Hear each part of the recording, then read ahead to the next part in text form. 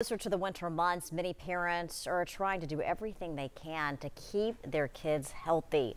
One common issue for kids, strep throat.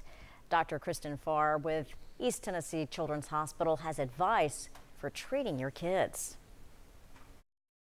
Typically, we'll see a child present with fever. A lot of times they'll have headache, vomiting, abdominal pain, and of course the sore throat. What we do don't usually see with strep though, uh, which I think is important for patients and parents to understand is we don't usually see a lot of coughing or congestion. So it's a it's a bacterial infection um, that invades your oropharynx or your throat, um, and it causes you know obviously an infection uh, causing the high fever, sore throat, and of course all the symptoms we talked about. Um, but it is a bacterial infection, and it does require antibiotics for treatment. Um, if you don't treat it, then the complications can affect your heart or it can affect your uh, your kidneys. So it's important that you seek out care and that you um, that you do take the full course of antibiotics. And one thing that parents and patients should understand is that sometimes you'll feel better after 48 or 72 of the hours of the antibiotics, but you really need to finish the entire course in order to fully treat strep.